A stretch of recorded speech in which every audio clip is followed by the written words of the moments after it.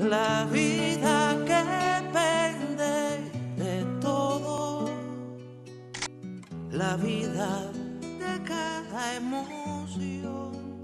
El aplauso de las nueve es en agradecimiento a ese que en el sufrimiento de la enfermedad se mueve. Aunque nos parezca breve, es otra su magnitud, porque trae en una luz siempre en su justa medida aplausos para la vida, la esperanza y la salud. Cuídate mucho en vigilia, porque cuidándote a ti, así me cuidas a mí y cuidas a tu familia. Al médico que te auxilia, no lo aplaudas solamente. Sé sobre todo consciente que él por nosotros se expone, para que no se expansione este virus inclemente. Y recuerda, por ti, por mí, por todos, quédate en casa. La vida me